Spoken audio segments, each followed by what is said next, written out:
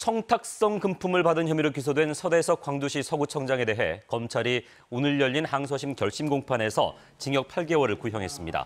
서구청장은 지난 2015년 광주 환경공단이 발주한 사업에 설명회 등에 참석시켜주겠다며 한 업체 대표로부터 800만 원을 받고 또 광주시청 직원으로부터 승진 청탁 등의 명목으로 200만 원을 받은 혐의로 기소돼 1심에서 징역 6개월에 집행유예 2년을 선고받았습니다. 서구청장의 항소심 선고 공판은 다음 달 13일에 열립니다.